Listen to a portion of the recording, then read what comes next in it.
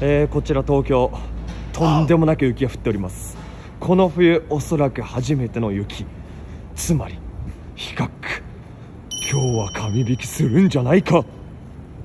あのちょっと外で1人で言ってるの恥ずかしいんで終わります。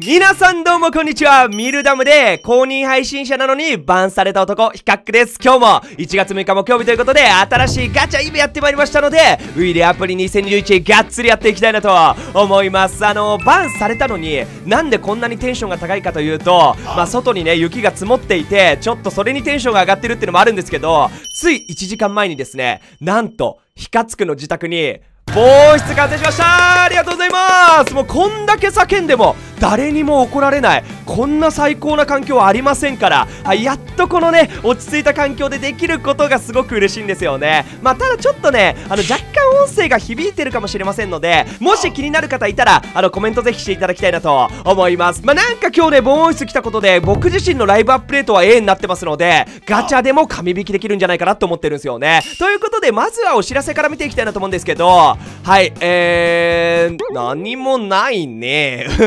いやー今週特にお知らせないんすよね。まあ不具合とか来てますけどまあ真新しいイベントだったりとかキャンペーンは特に来てませんね。でえっとライブアップレートですね。軽く見ていきたいなと思うんですけど。いやー来たね。サラー A これはマジで嬉しい。ガチリーグ戦であのピックしてるので嬉しいのとあとねブルーのとかカンテもいいので今週結構ウディさんライブアップデート良さそうだなって思ってますね。で全体的に見るとこんな感じでまあガチスカ的な目線で言うとまあ全体的に対象選手が少ないんですけどセンターバックとかゴールキーパーの起用を今週は結構迷いそうだなって思ってますね。で不調評価でいうとこんな感じでいやあのさソン・フンミンってなんでいいなの？分かる人いたら教えてほしいんですけどソン・フンミンね MOM も取ってたし今週ワンチャン習慣あるかなって思ってたぐらいなんですよね。っていう中でライブアップデート E だったのでこれなんか謎だったなって思ってますね。はいということでライブアップレートはこんな感じでえ次にですね新しいガチャ見ていきたいなと思うんですけどでまずはですねレジェンドガチャになりますね。はい先週まではですね大容量20選手のですねボックスだったんですけどはい今日からは通常運転の10人レジェンドボックスということではいラインナップはこんな形になってますね。まあまあまあなのではい気になる方はぜひ引いてみてください。ということで一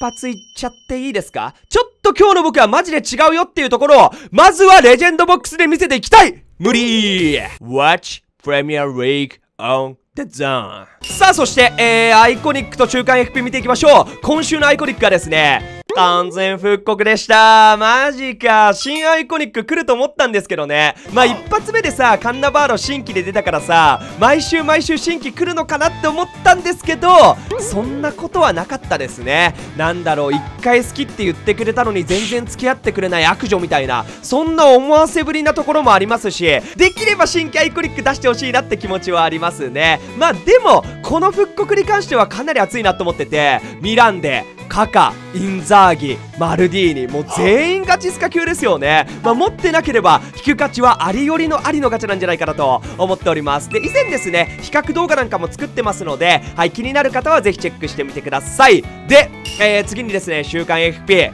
こんなメンツですよ。2022年一発目。なんと FP 予想。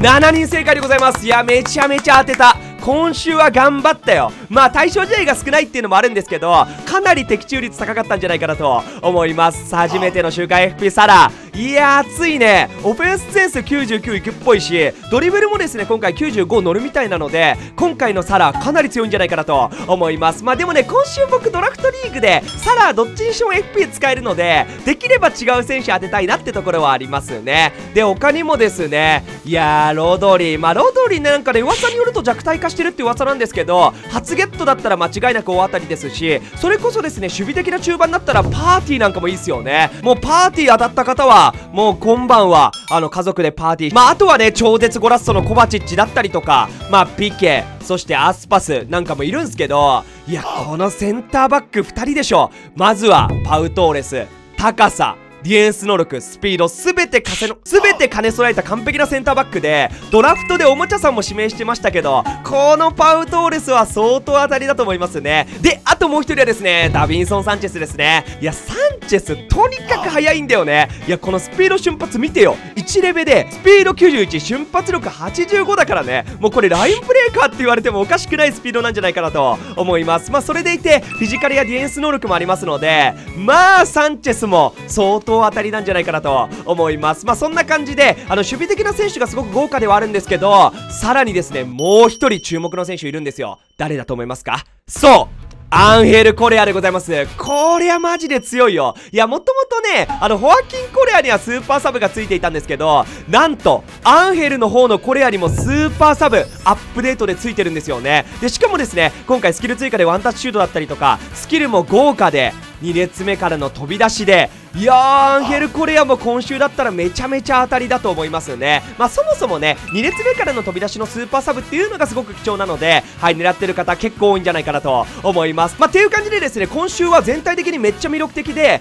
全員に良さがある熱盛ガチャだなって思ってますよね。まあそうだな女優さんに例えるならまあ山下美月さんですかね。はい。この前知ったんですけど。ということで最後にですね、ガチャ優先度やっていきましょうか。ガチャ優先度今週はですね、A マイナス評価ぐらい上げていいかなってところで、まあもちろん手持ちにもよるんですけど、個人的にはかなり推したいガチャで、誰が当たっても割と喜べるっていう意味では、無課金の方にもすごくおすすめなんじゃないかなって思いますね。まあ特にさっき言ったようにディフェンス陣の補強ですよね。ロドリやパーティーなど中盤含めて守備陣がかなり当たりなので、はい、そのあたり補強したい方は、ぜひ引いてみてください。まあ最初判断はですね、明日レベマ比較も上げますので、そのあたりも見ながら判断してみてください。ということで、ヒカツク行かせていただいてもいいでしょうか当然のようにですね、あの今週の FP ガチャに関してもガチリーグ戦対象選手ですし、先週と違ってですね、あのこの補強した選手ライブアップレート A で使えるので、今週の引きめちゃめちゃ重要なんですよね。で、ちなみにですね、あの対応表はこんな感じになっていて、まあほぼほぼですね、イングランドかスペインには落ちてくれると思いますので、そこから勝負と、そんな形になるんじゃないかなと思います。で、狙いで言うと、まあパウトーレス、コレア、サンチェスあたりで、かぶりはですね、サラー、サンチェス、ピケ、ロドリになりますので、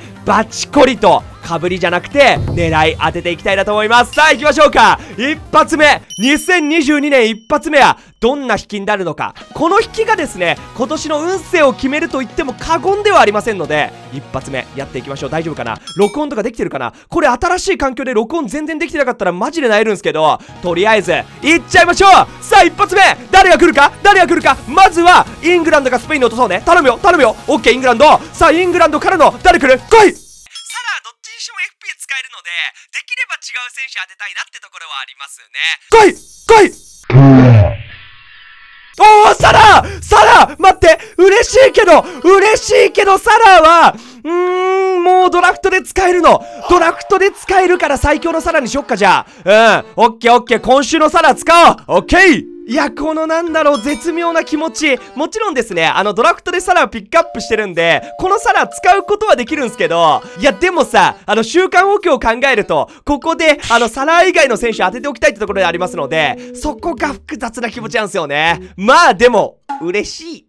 さあ次行きましょうかまあイングランドはねやっぱ結構選手数いる割にはなんだかんだ狙いサンチェスなのでどっちかというとスペインに落としたいかなってところでありますね。さあ2回目行きましょう。オッケーオッケーオッケー。まあまあまあサラーからスタートっていうのはねある意味このドラフトリーグの感謝も含めていいスタートだったと思いますので次が重要よ。スペイン頼む。スペインスペインスペインスペイン。オッケー。さあスペインからのからの誰が来る？ Let's goおアスパスか。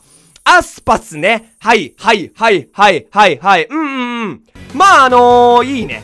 全然いい。まあ、アスパスは、かぶってはないはずだし、まあもちろん心の底ではですね、あのパウトーレスか、あのコレアが出る未来を想像してたところあるんですけど、まあアスパスもね、確かライブレだったよね。ライブレで、まあ、スルーパス持ちっていう結構珍しいパターンではありますので、ライブアップデート A だったら、あの、全然ドラフトリーグでも使えるんじゃないかなと思います。オッケーさあ、なんと、えー、2022年一発目の FP ガチャもラストになってしまいましたよ。いや、そういえばさ、2021最後さ、被って終わったじゃん、円引き。いや、もうあの2の前はダメよ。あれによってさ、2021はやっぱ比較区の被りの年かみたいになっちゃいましたから、今年は違うんだぞと。